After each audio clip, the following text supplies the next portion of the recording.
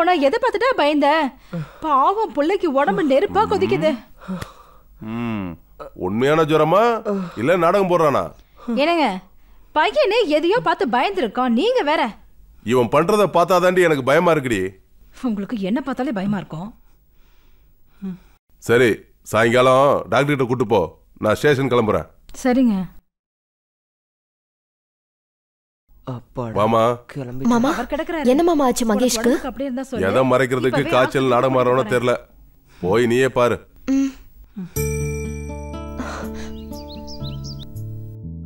என்னாச்சு அத்தா மகேஷ்க்கு. வாமா காயத்ரி. என்னன்னே தெரியல. உடம்பு நெருப்பா கொதிக்குது.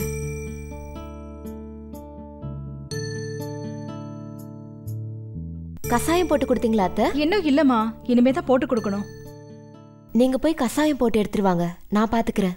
சரி மகேஷ். கசாயம் போட்டு எடுத்துட்டு வரேன். நீ அது வரைக்கும் படுத்துரு. பாத்துக்குமா காயத்ரி.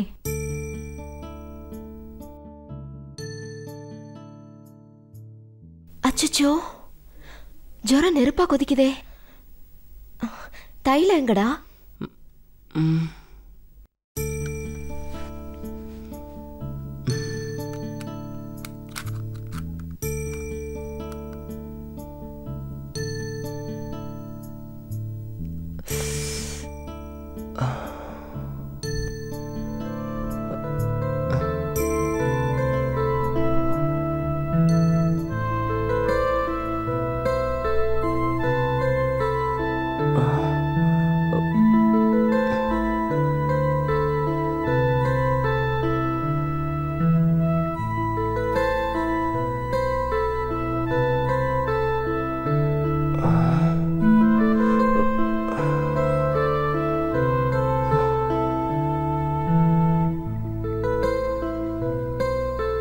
என்னம்மா? தைலம் தேய்ச்சி விட்றியா ஆமா அத்தை.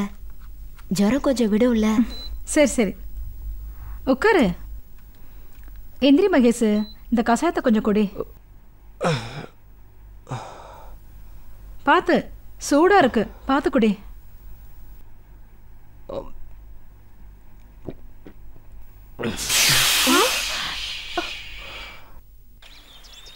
என்னடா சொல்ற? சத்தமா சொல்லாதடா. யாருக்கு அதில் விழுந்துற போகுது? இதெல்லாம் தப்புடா மகேஷ். என்ன தப்பு? மகேஷ் காயத்ரியை லவ் பண்ணுறான் அவ்வளோதானே என்ன அவ்வளோதானே காயத்ரி இவனை விட பத்து வயசு பெரிய பொண்ணு. அதுவும் இல்லாமல் சின்ன வயசுலயே அவளோட அப்பா இறந்து போயிட்டாரு. சின்ன வயசுல இருந்து இவனோட அப்பா தான் காயத்ரியை தான் புள்ள மாதிரி வளர்த்துட்டு வராரு. அவளை போய் எப்படிடா சரி அதனால என்ன? அந்த பொண்ணு இவங்க அப்பா அம்மாவை மாமா அத்தன் தான் கூப்பிடுறா. அதை நெசமாக்கணும்னு தானே ஆசைப்படுறான் மாப்பிள்ள? டேய் மகேஷ் இவன் பேச்சு கேட்காத. அந்த பொண்ணோட ஜாதகம் ஊரறிஞ்ச விஷயம். கல்யாண தேதியை குறிச்சாலே வரப்போற மாப்பிள்ளைக்கு மரணம் நிச்சயம். மகேஷ் சொன்னா புரிஞ்சுக்க வேணாம் தயவு செஞ்சு விட்டுரு. உனக்கு ஆசையா இருந்தா சொல்லு. ஐநூறுரூவா தான் நான் கூட்டு போறேன். நான் சொல்றதுக்கு அவளை மறந்துரு. அடச்சி என்ன மாமா அப்படி பேசுற? அவளை எனக்கு பிடிச்சிருக்கு. அவளை கல்யாணம் பண்ண தான் ஆசைப்படுறேன். இல்லடா மகேஷ் நான் என்ன சொல்ல வரேன்னா? நீ எதுவும் பேச வேணாம். நான் வரேன்.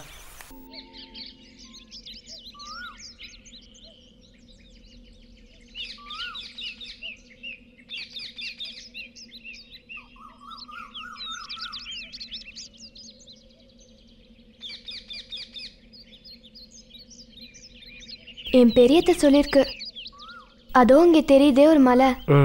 அந்த மலைக்கு பின்னாடி தான் நிலா ஓய்வெடுக்குமா.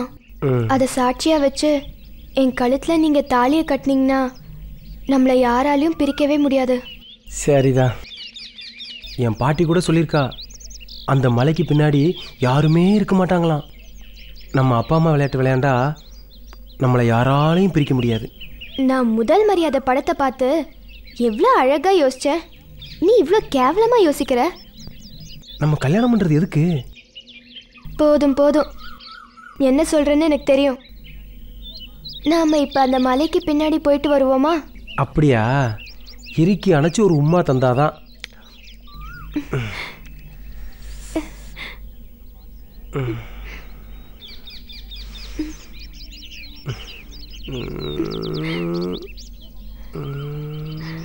யார் அவன் வெள்ளாம பண்ற வயக்காட்டுல? யாரோ வராங்க. நான் போகிறேன் யாரா நீங்க? எனக்குன்னு எங்க இருந்துடா வர்றீங்க?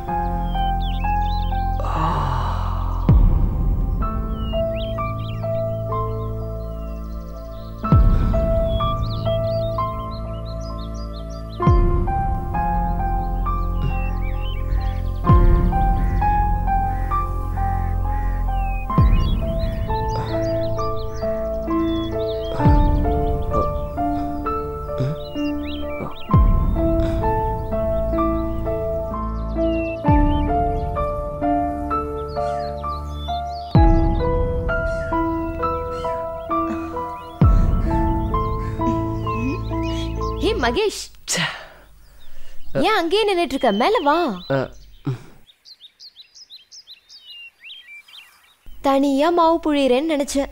நல்ல வேலை நீ வந்துட்ட. வா வந்து ஒரு கை போடு.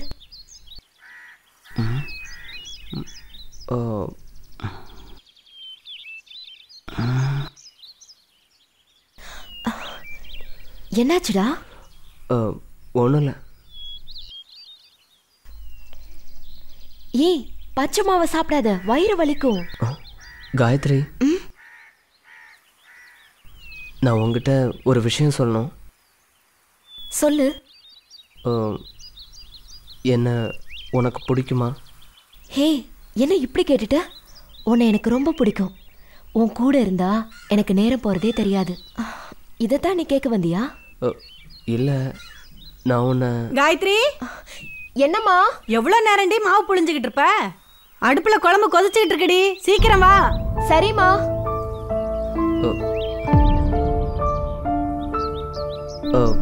சரி. நான் படிக்க போனோம் நான் கிளம்புறேன்.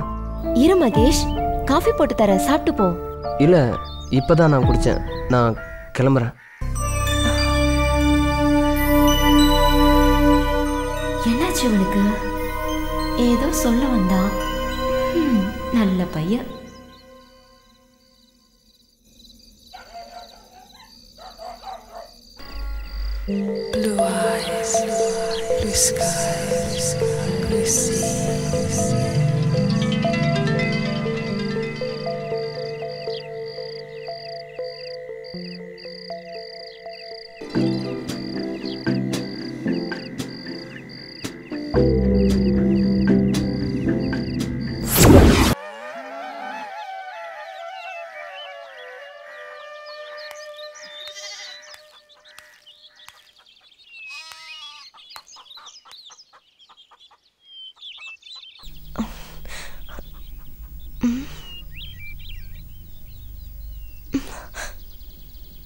என்ன குட்டி?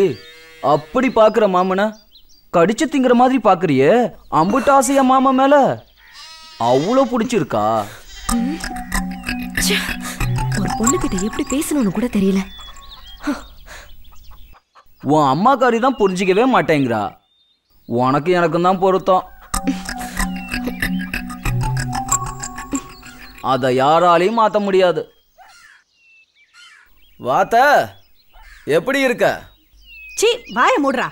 உன்னதான் இந்த பக்கமே வரக்கூடாதுன்னு சொல்லியிருக்கேன்ல. ம். ஓ இவன் வந்திருக்கானா?